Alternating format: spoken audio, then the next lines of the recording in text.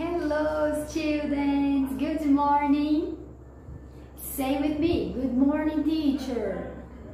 Let's start our English lesson with me, teacher Jessica. Vamos começar então a nossa aula de inglês. Antes da gente começar, a teacher já pede que vocês peguem o book de vocês na página 15, na página 15. Peça ajuda aí a mom, o dad, a mamãe ou o papai para colocar na página 15. Isso mesmo. Hoje a nossa aula é muito, muito especial, very special, pois hoje, today, nós vamos estudar os family members. Vocês já ouviram essa palavrinha aqui, ó? Family. So let's pronunciate. Say family. Family. Family significa família. Isso mesmo. Family. Todos nós temos uma family, não é? Cada uma com as suas diferenças, mas todas com muito amor, é claro. With many love. Então, hoje nós vamos aprender como dizer os membros da nossa família. Como dizer papai, mamãe, vovô, vovó, irmão, irmã, tio e tia. Então, para isso, olha, são muitas palavras, então prestem bastante atenção.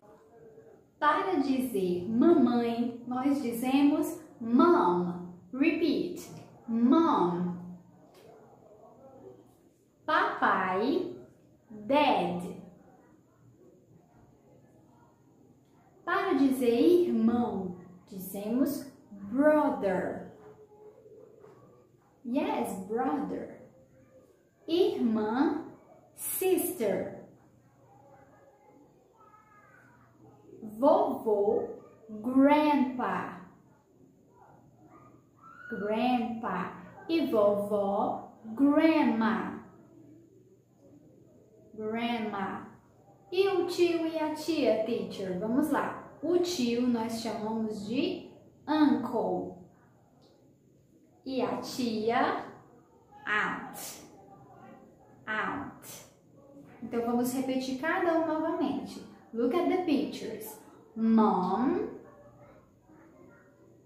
dad, brother, sister, grandpa, grandma,